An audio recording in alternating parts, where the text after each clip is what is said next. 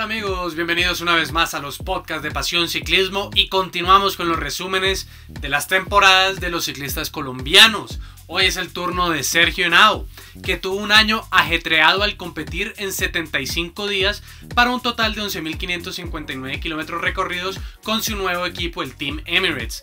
Como dato llamativo, Henao no abandonó ninguna carrera en la que participó, lo que habla de su constancia y preparación para la temporada. Corrió 6 carreras por etapas, dos de ellas grandes vueltas y 4 pruebas de un día, tres de ellas en el tríptico de las Ardenas. Inició en febrero en el Tour Colombia y finalizó octavo en la general. De ahí en adelante solo corrió en Europa. En marzo estuvo en París-Niza y terminó puesto 31. En abril participó en la Vuelta al País Vasco y terminó puesto 14 en apoyo de Dan Martin. Siguió el tríptico de las Ardenas con Amstel, Flecha y Lieja en apoyo de Pogachar y Ulisi. Tras un parón de un mes, llegó junio y estuvo en el Tour de Suiza, finalizó puesto 13 y fue el mejor de su equipo. En julio corrió el Tour, allí la idea era apoyar a Fabio Aro y Dan Martin. Sin embargo, los resultados no se dieron para el equipo y el colombiano intentó meterse en varias fugas, pero nunca pudo disputar las etapas. Tras tres semanas se volvió a alinear en una grande, esta vez la Vuelta a España. Allí fue puesto 45 tras apoyar a Pogachar en su camino a tres triunfos de etapa y tercero en el podio. Ese fue el año de Sergio Henao. Constancia y consistencia, pero sin relevancia en la disputa de una victoria. Ojo, no es una crítica.